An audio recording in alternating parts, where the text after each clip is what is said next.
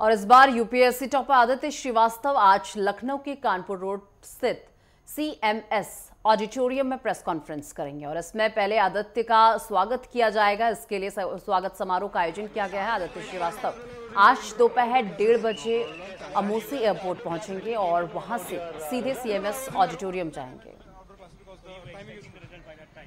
Yeah, yeah, I was expecting that. It generally comes for the past two years.